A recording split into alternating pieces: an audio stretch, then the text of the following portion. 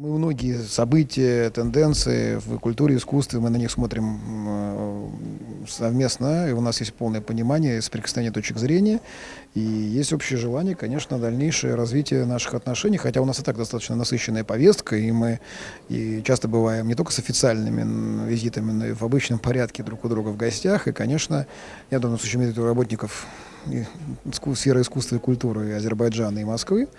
А, но, естественно, всегда есть возможность эти контакты расширить, тем более а, политические возможности между нашими странами, наоборот, как бы нам указывают на дальнейшее укрепление наших связей. И поэтому мы очень о многом поговорили, очень содержательно, создали рабочие группы по разным направлениям. И, конечно, я думаю, что это поможет дальнейшему развитию наших отношений. Мы же в данном случае должны быть адресованы широкой аудитории не только в Москве, но и в Баку. Естественно, как вы понимаете, это э, требует достаточно серьезной организационной работы, поэтому мы, не, э, мы заинтересованы в долголетнем, надежном партнерском сотрудничестве. Это не обязательно один-два года, это может быть более длительная перспектива, которая должна включать в себя целый комплекс различных событий.